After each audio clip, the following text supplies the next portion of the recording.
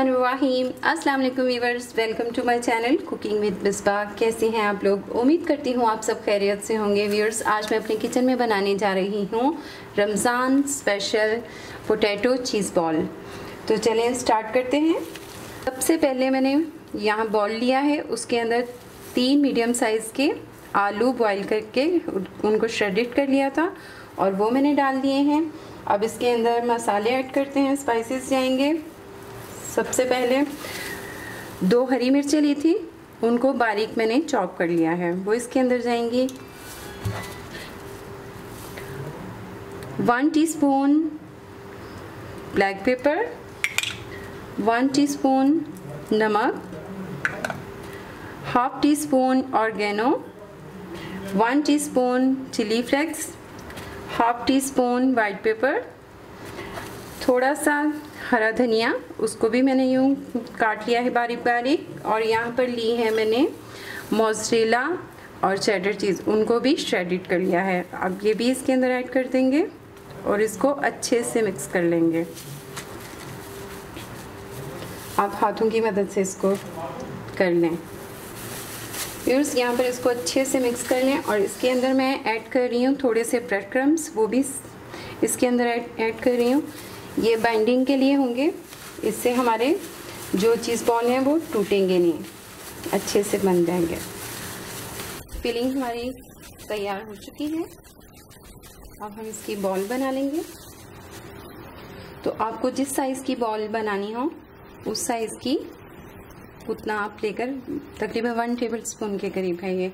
और यहाँ पर मैंने ली है मोजरेला चीज़ उसके में, उसको मैंने क्यूब्स में कट कर लिया है। तो छोटे छोटे क्यूब्स काट लिए हैं।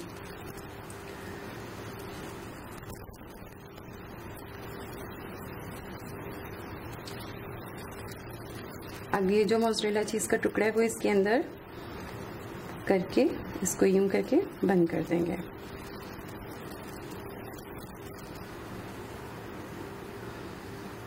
और गोल सी बॉल बना लेंगे। इतने साइज़ की मैं सारी बॉल्स बनाकर तैयार कर लूँगी। व्यूर्स यहाँ पर मैंने सारी बॉल्स बनाकर रेडी कर ली हैं। अब मैं इसको साइड पे करती हूँ। और यहाँ पर मैंने लिया है मैदा। थ्री टेबल स्पून मैदा लिया है और थ्री टेबल स्पून इसमें कॉर्नफ्लावर लिया है। और अब हम इसकी एक स्लरी सी बना लेंगे। पेस्ट इसका। ज़्यादा थिक भी नहीं होना चाहिए और ज़्यादा थिन भी नहीं। नॉर्मल यहाँ पर मैदे और कॉर्नफ्लावर की स्लरी मैंने बना ली है। इसकी थिकनेस आप देख सकते हैं।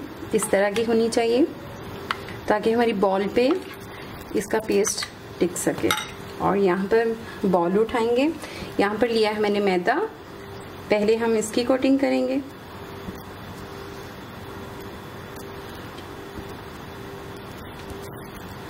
उसके बाद इसको इस पेस्ट में डालेंगे। और इसके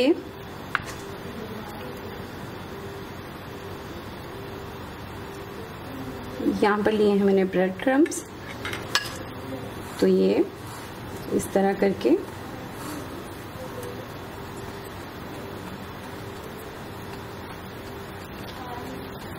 ये हमारी बॉल बनकर तैयार है।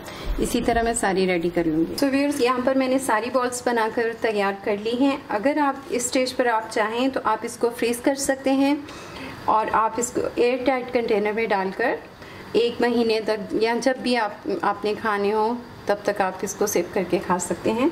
तो अब हम इसको फ्राई करते हैं और मैंने यहाँ पर मीडियम साइज़ की बॉल्स बनाई हैं। ज़्यादा छोटी भी नहीं है और बहुत ज़्यादा बड़ी भी नहीं है। और यहाँ जो मैंने ब्रेड क्रम्स यूज़ किए हैं, वो मैंने घर पर बनाए हुए हैं। तो चलिए इसको फ्राई करते हैं। सो व्यूर्स यहाँ पर मैंने पैन रखा था चूल्हे पर और ऑयल मैंने गर्म कर लिया है।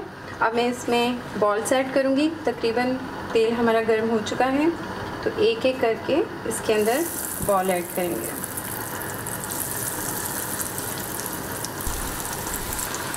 फ़िलहाल हम इसमें इतनी ही मैंने इसके अंदर बॉल ऐड की हैं और अब हम इसको फ्राई करेंगे। हल्का सा खूबसूरत सा गोल्डन कलर आने तक मीडियम आँच पर।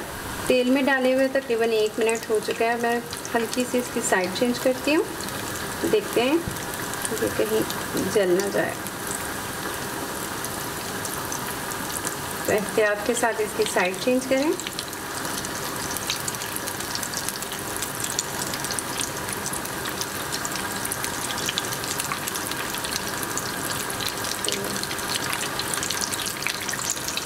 तो हम इसको थोड़ा सा और फ्राई करेंगे और फिर हम इसको निकाल लेंगे। यहाँ पर हमारी बॉल्स फ्राई हो चुकी हैं। हम इसको निकाल लेंगे।